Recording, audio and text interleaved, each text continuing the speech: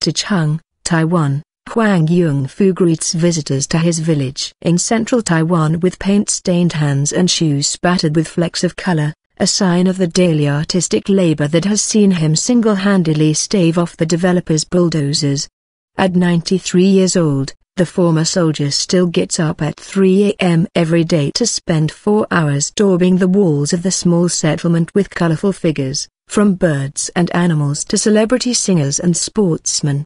Known as Rainbow Grandpa, Huang's artwork has kept the village safe as the surrounding area has been flattened. He walks with a slight limp and rolls up his trouser leg to reveal a bandaged knee.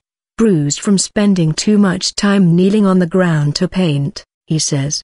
But Huang is determined to continue adding to the vibrant murals that decorate the walls and pathways of the military dependents' village as a way to ensure its survival. Huang has lived there for 37 years, staying even after his neighbors abandoned their homes and only 11 houses remained.